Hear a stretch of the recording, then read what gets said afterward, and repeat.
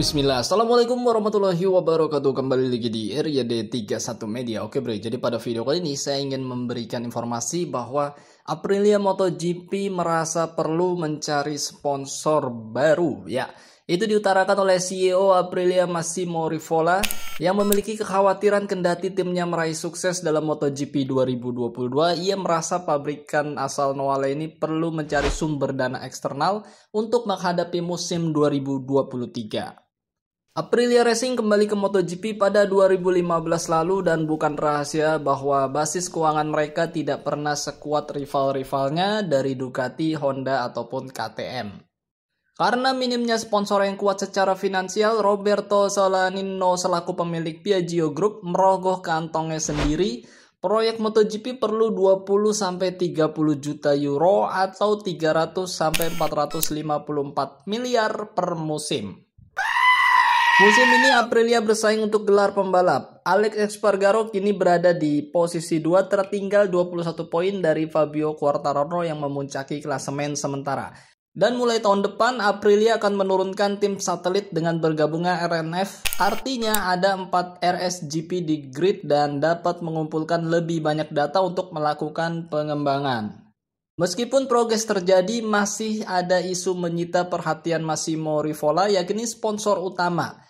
Tetapi situasi kemungkinan berubah tahun depan. Ya, kami tidak punya sponsor utama saat ini, tetapi saya bisa bilang bahwa sponsor-sponsor yang besar kini memperhatikan kami.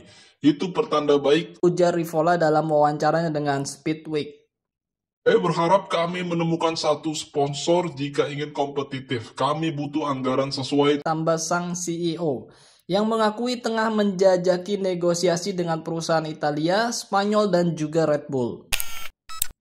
Ya, kami sedang dalam pembicaraan. Perlu juga dipertimbangkan apa Red Bull Group mendukung tim kedua seperti di Formula One, Aprilia bisa menjadi tim Alfa Tauri MotoGP.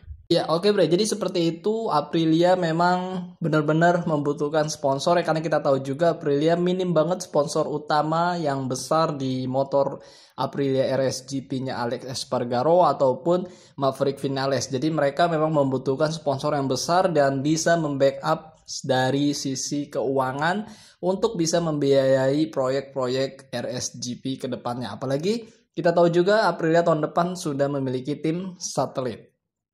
Oke, mudah-mudahan mungkin nanti bakal ada sponsor besar yang nemplok di RSGP-nya Aprilia dan juga semakin berkembang Aprilia, apalagi tahun depan mereka sudah di tim non konsesi alias segala kemudahan-kemudahan yang dimiliki di tahun ini sudah tidak dimiliki mereka dan mereka bisa bersaing bersama Ducati dan juga Yamaha, Honda, KTM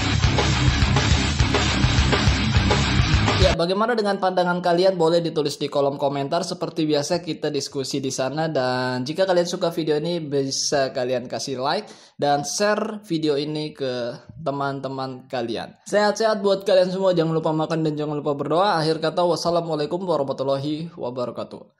Bye-bye.